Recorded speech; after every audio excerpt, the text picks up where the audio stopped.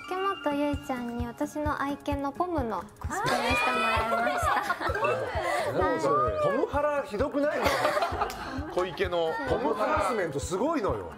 もうずっとゆいちゃんの顔がもうポムにしか見えなかったまあなんか前も言ってたよね。そうだ言っはい、てたな。なんかぜひこの機会にちょっとやってほしいなと、おやつ竹本は愛犬ポムになりきれるのか？せーの。ハッピーハロウィーン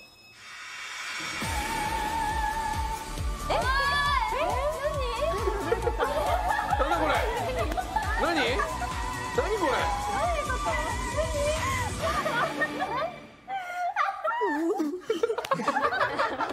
ちゃんとしてちゃんとしてちゃんとして決めて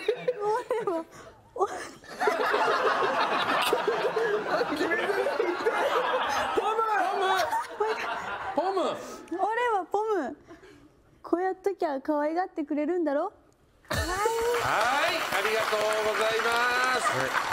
いやー、いいですね。そうですね正面向いてください、ポム。ポムねおかわいい。かわいいよ。顔見せてダメダメダメ。顔見せてポム。ね小池どう？あれセリフは？セリフはあのポムがちょっと結構生意気なところがあるので、あ再現してもらうっていう。でも多分竹本もあれだよね一期生の小池からのお願いじゃなかったらやらなかったよねはい おい。ということで、はい ポムお座り。お利口さんポムは他芸できないの？小池。できますよ何？ちょうだいってできますちょうだい。ちょうだいちょうだいできるらしいですよちょうだいできるどどういう？ポムちょうだいは？ちょうだい上だだこの世の終わりみたいな顔すんじゃないよ。手ダメだよポムだよ。上今日はもう徹してくださいポムに